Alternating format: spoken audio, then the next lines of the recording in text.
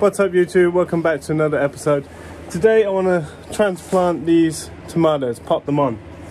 In theory, there should be one in every cell, but we've had little Ragnar helping plant, so there's multi-sown cases, but that's okay. We've got, in theory, 640 plants. We need 568 to do five rows in the big tunnel because we're doing three rows of cucumber. So I'm going to make up trays of 10 by 10 pots and efficiently fill all those, get these transplanted, and they're going to get installed actually underneath the bench here where we have these halide lights because we just don't have enough space otherwise and you can see there's a lot of other stuff going on in here. So that's the mission today, stay tuned.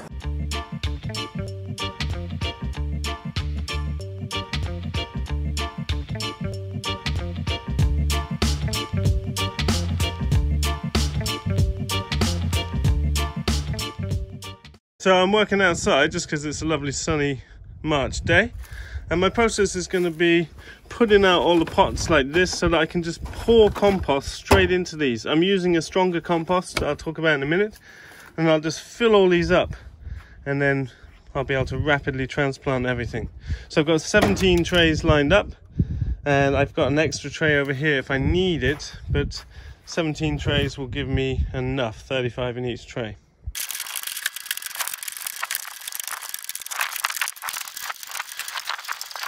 Just took a few minutes to lay all them out. And with all these sorts of jobs you want to look for breaking it down into its components by putting all these out first and filling them all and then planting everything. It's way quicker in the end and we're aiming to do jobs like this really efficiently because farming is made up of just multiple repetitive tasks like this so I'm all ready to go. Now I did tell a little fib, these are not 10 by 10 centimeter trays, they're 8 by 8 centimeters. Space is at a premium in the lean-to, and so it's pretty important that we can make the best use of the space we've got. Therefore, it's important that they don't take up too much room because we've got plenty of other crops too. Now, they're only staying in these pots until they can get in the tunnel. That varies depending on when we get rid of the hens and also on the weather, which can fluctuate radically here up at 59 degrees north. Now, these are a bit too densely spaced for how you would want to keep them as they grow up to this sort of height. And so what you would want to do is sort of mosaic them and take out plants like this to give them more room. And we can do that in situ. I'll probably transfer them to the grey crates that we usually pack vegetables in as they get bigger. But the minimum space they can take up for now as necessary is great because at some point we'll be getting spring onions out and they'll free up a huge amount of space just with that single crop. So we're going to fill these now with compost and it's a little bit stronger compost than we typically use for potting. Okay, compost. So this is a heavily cow manure based compost. It's a lot stronger. It's lumpy. It's got bits of wood and stuff in it like that. I'm not going to bother sieving it because I just can't be bothered. But what I'll do, if I just turn this around, I'm just going to start in the middle where you can see this. I'm just going to use a scoop to fill these rapidly because I don't want to spend much time repotting these. Tomatoes aren't going to be happening until July, August, so I don't want to waste too much time just potting these things on. But by stacking the trays in a way that tessellates like so, it becomes very quick to fill these pots up. And then when I put the actual plugs in, I'll easily be able to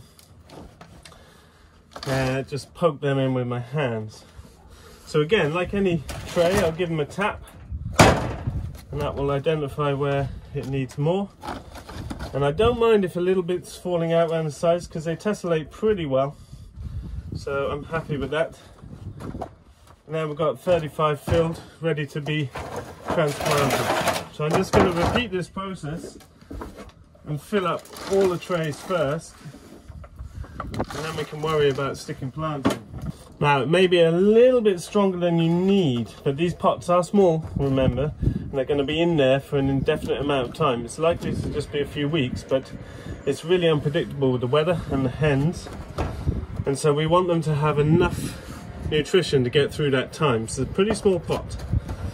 But this is what I'll do, I'll just fill all these up and then we'll get transplanting.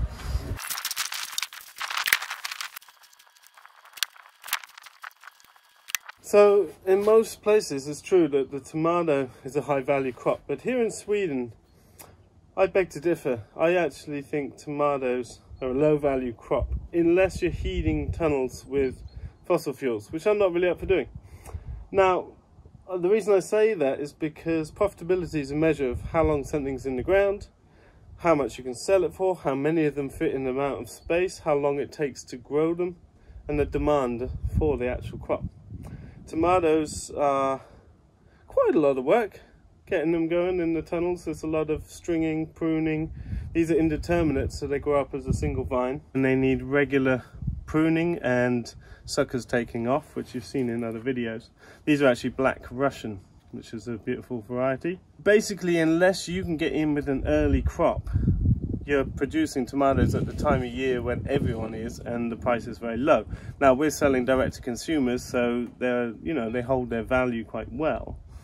But if you're heating with fossil fuels, be it you know propane is a, a pretty standard way of heating big commercial tunnels, that's a lot of fossil fuel just to grow tomatoes. I'm not even that big, you know, it's not like beefsteak or something, so could be a beefsteak tomato, I guess. But you know what I mean? It's like, it's just tomatoes. It's not like high on the nutrition list for me.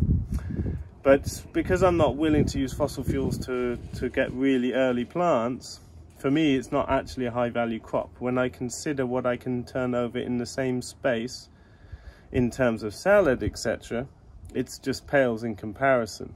And the amount of work is very minimal for those sort of crops. Now, we're growing a variety of crops and we want tomatoes. That's why we do it. But I just point that out because a lot of people assume tomatoes are high value crop, but only if you're growing early varieties through heated tunnels, in my opinion, up here in Sweden at least. Okay, so the way that we actually transplant these is give them a good watering the night before. That's really important because transplantation is, you know, it's like you going down to the airport, jumping on a plane, not getting fed, going to Wuhan, waking up there, wondering what's going on. So that's what we do when people are in shock. We give them water and we don't handle the roots. So I use this dibber that you see that's designed for these 64 trays to push the cells out from below because a plant can't really be handled by its roots. And you don't want to lift it by its stem. It's not evolved to be lifted from its stem and hold this weight on its roots. It's not designed to do that. Now you could wait a little bit longer for the root ball to fill the cell to make the transplanting easier, but I'm working on a time basis and today is a day that I'm free to do this because my seeding calendar is pretty full. But then to transplant, I'm just using my fingers. I'm gonna dip in there, push that in and just firmly push it down and that's it. I'm gonna water these all in really well but that's as simple as it needs to be. And if I've got a double plant, because Ragnar was helping plant these, I'll just discard that.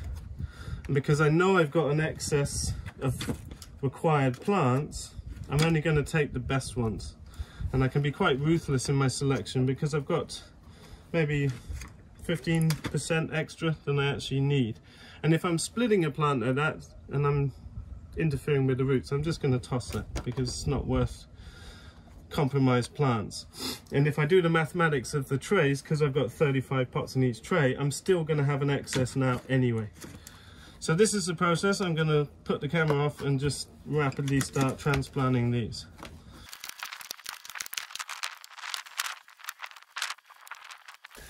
You don't have to be precious with transplants.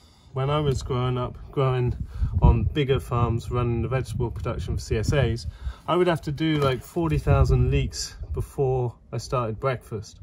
And you're not hanging around, your fingers are moving fast. These are young plants, they're very tolerant and they're not worth anything till they start cropping. So it's really about putting the amount of time that's relevant to the value you're creating.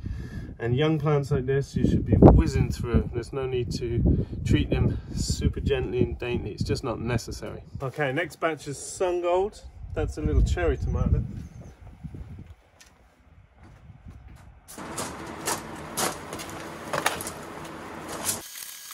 It's important to give all transplants really good soak due to the stress of the situation. You can see we've got them under the halides. Now these halides I've talked about in other videos they're more on the yellow spectrum, typically used for triggering flowering, etc. But we got given them and so we're just using them because they allow us to put the tomatoes down here out the way and they get plenty of heat and strong light and it's been doing well for us the last years that we'll carry on with that. So got three more varieties to go. Okay, so this is Shirley, which is a, just a nice red, and we've got Moneymaker, which is another high yielding classic red. And then my favorite is Ildi. You'll remember the really highly abundant yellow cherry. And that one, I'm hoping to get a few extra because it's my favorite tomato variety having this dibbler allows you to move quicker because you're not pulling any plants out and I can support the root with my fingers like so and I'm just dibbing a hole that just allows me to sit that in and then just giving it a good press. In this case I've got two plants so I'm going to pull out the less vigorous one. But I'm always supporting I'm not just letting it dangle on the weight of its roots. That's important. And I'm trying not to touch the roots any more than necessary. And so that's the way that we transplant everything. It's a quick process. I'm expecting this entire transplant to take just about an hour or so. So it's a really quick process overall.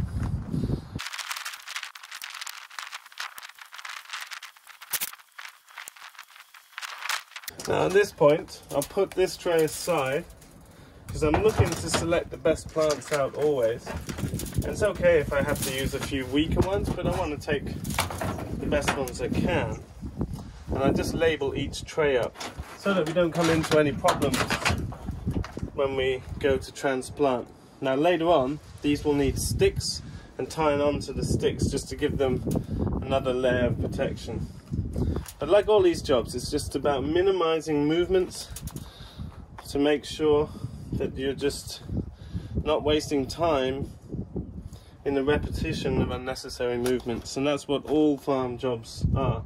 Now, obviously quicker when I'm not talking to the camera, but it's a very quick process, doesn't need to take a long time. And at this time of year, there's so much seeding to do, you don't have time to be messing around making jobs take too long. This is the sort of job that if you're just dilly-dallying and chatting with people, you could spend hours doing this job. It's just absolutely unnecessary. It's, it's a one-hour job. I'm working outside because it's preferable for me because it's nice weather. Out here, the greenhouse is pretty hot already. But actually, the plants need to get back inside because it's too cold for them out here. It looks warm, but it's actually pretty cold still, just a few degrees. It was freezing last night. And so I want to get these inside as soon as I've done each batch of different varieties.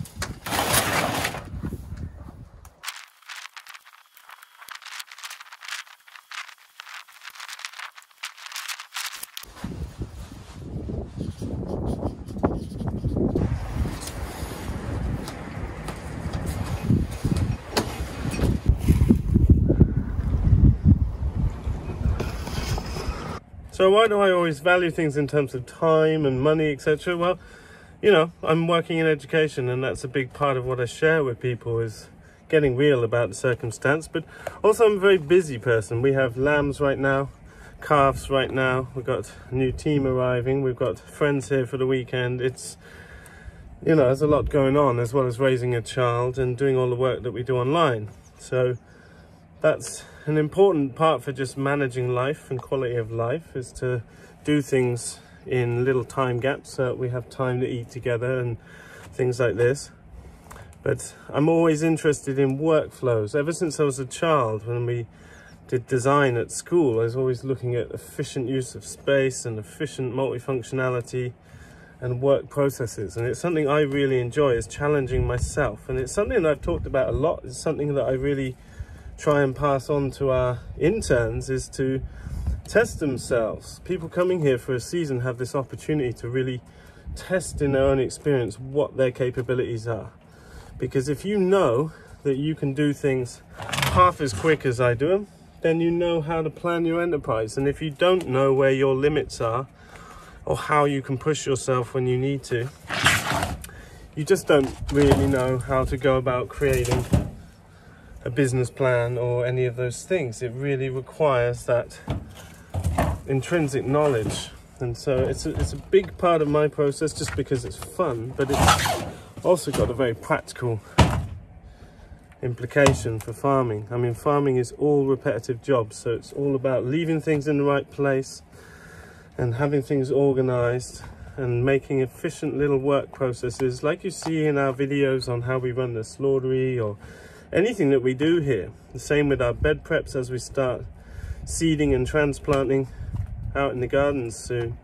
Systematic processes that you can repeat and optimize and it just helps avoid mistakes and saves a lot of time and as I've always said market gardening is the most time intensive of all farm enterprises and most people aren't aware of that doesn't mean we shouldn't do it just means we need to really be careful how we spend our time and that's part of the reason I wanted to make this video is just to show like you know there's ways to do anything optimally so that they fit into the rest of the jobs we have to do that day as well as balancing that with the time we want to spend with our friends family for our quality of life etc okay we just made three trays getting a bit bare on these. They do grow a bit slower the Ildi that's the spelling for those of you that are interested but three trays like this makes up one row in our big tunnel. So glad we got through them. On to moneymaker the last variety now.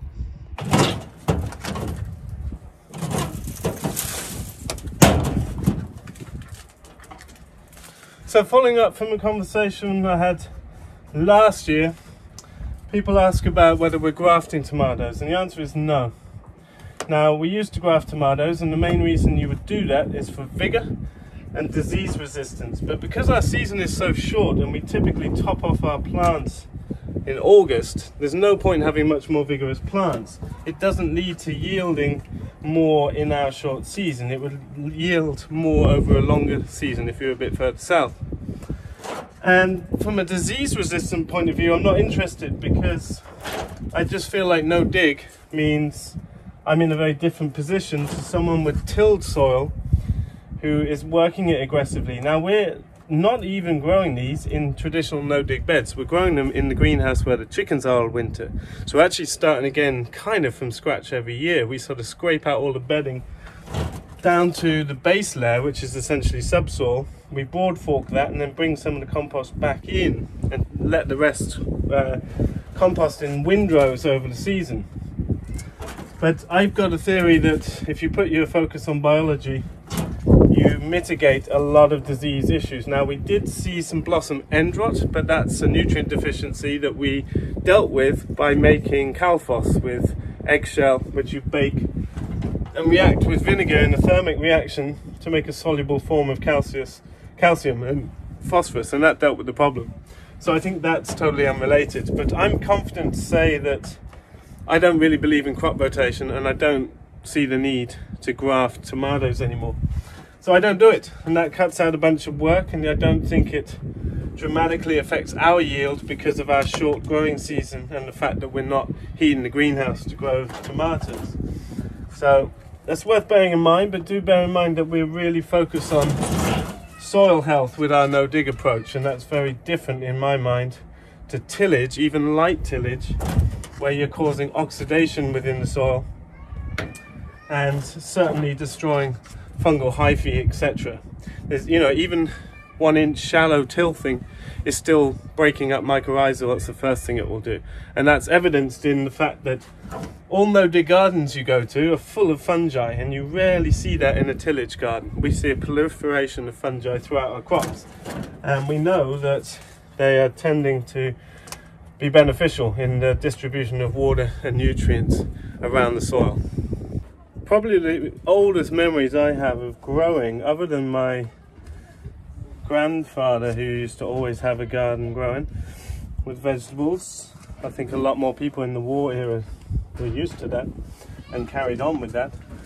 But was at school, at secondary school, because we had a farm at our secondary school. It closed as I was leaving the school, and that happened in most schools in the UK that had farms.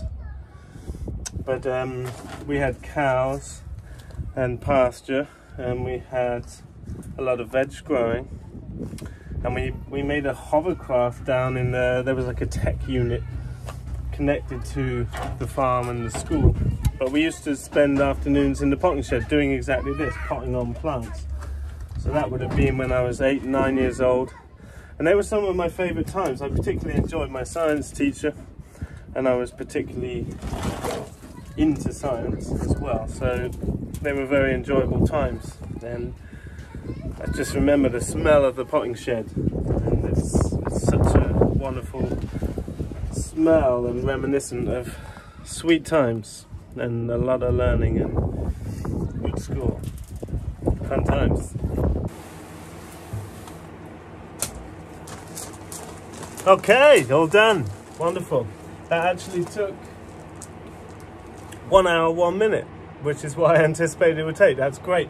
So just to recap, we got Black Russian, Sun Gold, Shirley, Ildi, and Moneymaker.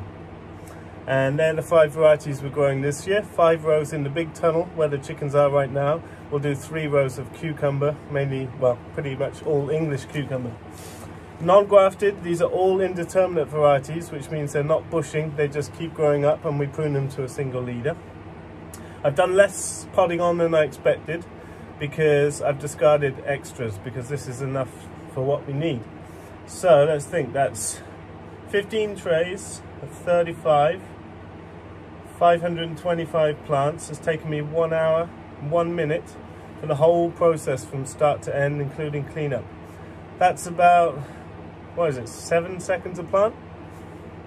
That's fine with me. So these things can be very efficient and easeful. This is not the most ideal setup for these plants, having a little nestle under here. This is actually the window to our cellar. So it's colder down here. Now, just to give you an impression of that, here's spring onions on the third rack down. Second rack down. Top rack. So I go through a process of shifting these around. Now, obviously, in a space like this, the heat will be lower at the ground. You see it's quite warm today. We're up at 23 degrees in here because of the sun on a sunny day like this. So I do need to spread my trays around a bit if I want evenness, but I don't really mind to be honest with the spring onions because we can just stagger the harvest a bit easier like this. It's not a big deal, but it's something to be aware of if you're using vertical space. Naturally, it will be a bit cooler down low. And whilst this isn't the most ideal space for the tomatoes, it's what we've got to work with. Now, what will happen later on, as they really grow up, we'll stake them, we'll tie them to the stakes, and we will space them out a bit so they have a bit more room. And they will go out uh, it's hard to know when exactly due to chickens. And that frees up a bunch more space on the trays because I've got quite a lot of seeding to get on with this week. Okay that's it for the video. I hope you found that interesting in some way and you can let us know in the comments below Thanks so much for watching folks and don't forget to click subscribe and hit the notifications bell if you want to stay up to date with videos. We'll be releasing a lot more now the season is getting underway and I can't wait to keep you updated about the Farm Like a Hero experience and hub that we're creating. So thanks so much folks. You can find out a ton in the links below in our book or in our online training. We'll see you in a video soon. Bye for now.